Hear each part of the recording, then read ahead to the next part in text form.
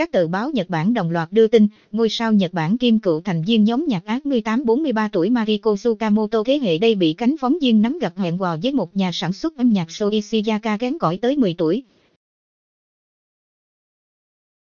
Điều đáng nói, Mariko Sukamoto đã có gia đình và được biết đến với hình ảnh người đàn bà tạm biệt sự nghiệp để dung dấn cho tổ ấn của mình. Nữ ca sĩ đáng yêu Mariko Sukamoto, và hình ảnh ngoại tình bị phát giác. Được biết, Mariko Tsukamoto và người tình bị nắm gặp dạo phố vô cùng tình cảm. Ngoài ra Mariko không kiên dè ngần, công bằng để lộ mặt thì sâu bí mật đeo khẩu trang, cùng nhau trò chuyện vui vẻ, sau đó nắm chặt tay nhau giữa phố đông. Cả hai ở bên nhau tới tận khi trời tối, sau đó thế hệ miễn cưỡng tạm biệt.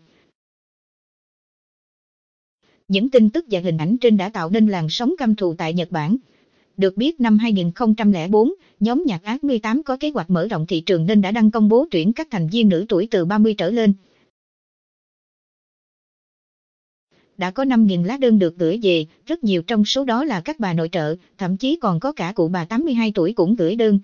Mariko Sukamoto mặc dù đã là người đàn bà đã có gia đình và hai đứa con bé dại nhưng lại là nhân vật lọt vào danh sách cuối cùng.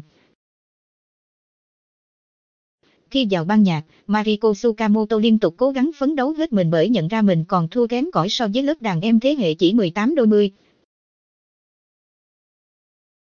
Cô được công nhận bởi năng lực và sự thích nghi nhanh, tuy nhiên không biết vì lý do gì, chỉ sau 4 tháng gia nhập Sobi, Mariko Tsukamoto quyết định lui về hậu phương, tiếp tục biến thành bà nội trợ chăm lo cho gia đình.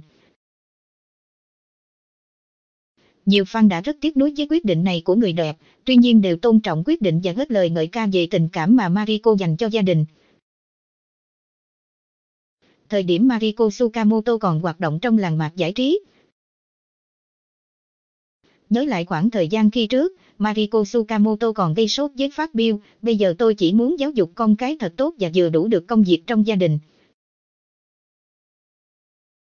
Về mối quan hệ ngoại tình với nhà sản xuất âm nhạc Soishiyaka, nguồn tin cho biết thêm, cặp đôi quen biết nhau khi tới một quán bar vào khoảng thời gian đầu năm nay. Điều gây căm thù hơn đó chính là chi tiết vụ ngoại tình. Sau khi cho con ngủ, Mariko ra ngoài hẹn hò với số ít nhất một trừ hai lần tuần vào khoảng thời gian nửa đêm. Cả hai sẽ tới quán bar uống rượu say sau đó cùng nhau thuê khách sạn. Ngay sau khi những hình ảnh này bị phơi bày trên mặt báo, truyền thông đã liên lạc ngay với phía nữ ca sĩ, công ty trả lời út mở, việc riêng của nghệ sĩ chúng tôi không thể chia sẻ, hiện tại cô ấy đang làm việc, không tiện để nhận phỏng vấn. Nguồn tin gần gũi cho biết, chồng của Mariko đã biết đến việc người đầu ớt tay gối bao năm qua ngoại tình. Nguồn